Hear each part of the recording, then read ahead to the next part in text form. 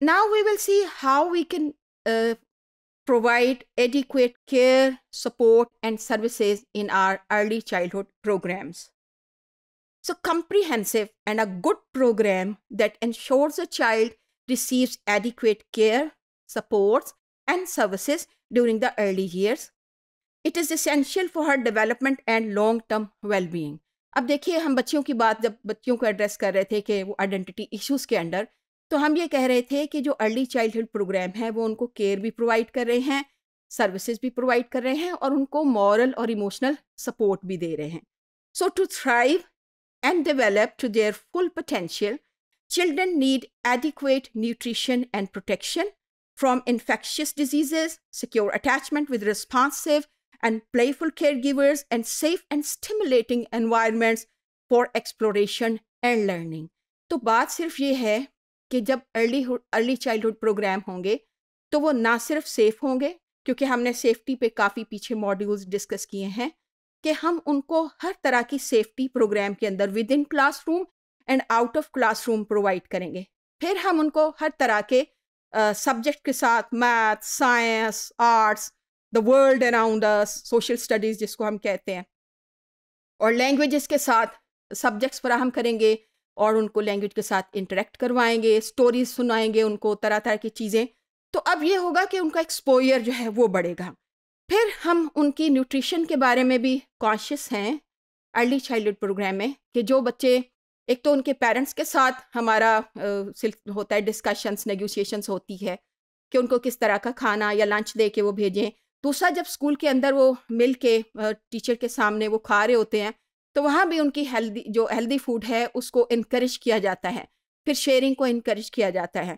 फिर हम उनको मुख्तलिफ़ ऐसी छोटी छोटी बीमारियाँ हैं, जो बच्चों में ख़ास तौर पे जैसे वैक्सीनेशन के प्रॉब्लम हो जाते हैं, या कोई और इस तरह की बीमारी उसको फौरी तौर पर रिपोर्ट किया जाता है। स्कूल के डॉक्टर को या घरों में रेफ़र किया जाता है, या डिफरेंट डॉक्टर्स को। तो ये सारी वो चीज़ें हैं, जो अर्ली चाइल्डहुड प्रोग्राम का हिस्सा हैं, कि भाई आपने उनके जिस्मानी सेहत का भी ख्याल रखना है और आपने उनकी जहनी सेहत का भी ख्याल रखना है The benefits of comprehensive ECD programs and services extend beyond early childhood. देखिए, सबसे बड़ी बात तो यह है कि जो बेनिफिट्स की जब हम बात कर रहे हैं तो सिर्फ़ यही नहीं है कि अभी अगर बच्चों का ख्याल रखा है तो it's okay okay.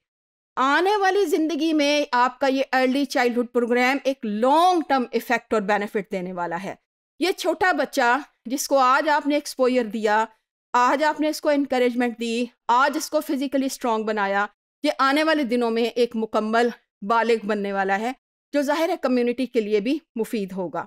These programmes represent the most cost effective approaches अब इनको कॉस्ट इफ़ेक्टिव इसलिए कहा जाता है कि आप छोटे बच्चे को ज़्यादा से ज़्यादा अगर वो तीन साल से आपके पास आता है, आप उसको पाँच साल तक, फिर आठ साल तक उसको तालीम देते हैं। तो जो आपने आज सिखा दिया है, जितने थोड़े वक्त में आपने उनको बहुत सी इन्फॉर्मेशन दे दी है, बहुत सा आपने उनको हौसला दे दिया है, बहुत सी सेहत पे काम कर लिया है।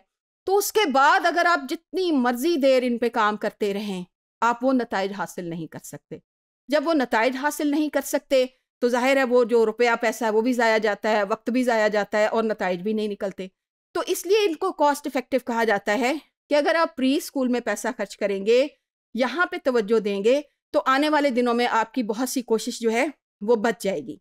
So investing in the early years is the smartest investment for girls and boys development दोनों के लिए। ये बड़ी स्मार्टेस्ट इन्वेस्टमेंट है अगर हम इसको अर्ली चाइल्डहुड प्रोग्राम के अंदर करें। With the return on investment significantly greater than the return for programmes for school aged children adolescence and youth तो आप बच्चे बड़े हो जाएँ, नौजवान बन जाएँ एडोलसेंस हो जाएँ आप बाद में इन पे ऊपर जितनी भी इन्वेस्टमेंट करेंगे, आप उनको वो चीज़ें नहीं दे सकते, आप उनके अंदर वो पोटेंशियल पैदा नहीं कर सकते जो आप अर्ली चाइल्डहुड में कर सकते हैं। तो इसलिए हम इसको कॉस्ट इफ़ेक्टिव भी कहते हैं और इसको टाइमली भी कहते हैं। आप बाद में करने का फ़ायदा ही कोई नहीं, आप जितना मर्ज़ी इन्वेस्ट करें क्योंकि बच्चे उस वक्त तक सीख चुके हैं, उनकी आदतें भी बन चुकी हैं, उनके बिलीव्स भी बन चुके हैं, उनके एटीट्यूड्स भी बन चुके हैं लाइकिंग डिसलाइकिंग्स भी बन चुकी हैं। फिर एक सेहत जो बननी थी, उसका भी कोई नेमल बदल नहीं। वो शुरू में अगर सेहतमंद हैं तो आने वाले दिनों में और ज़्यादा सेहतमंद होंगे। लेकिन अगे, अभी उनका कोई भी ऑर्गन फ़र्ज़ करें लिवर पे कोई असर हो चुका है, या किडनीज पे है, या हार्ट पे है, या ब्रेन पे है तो वो बाद में रिकवर नहीं हो सकता। इसलिए हम ये कहते हैं कि comprehensive early childhood development programmes सारी जो गवर्नमेंट्स हैं उनको अपने पॉलिसी का लाजमी हिस्सा ना सिर्फ़ रखने हैं, बल्कि इसको इम्प्लीमेंट करना है, इसके लिए फंड्स जनरेट करने हैं और तमाम स्कूलों के अंदर इसको जगह देनी है।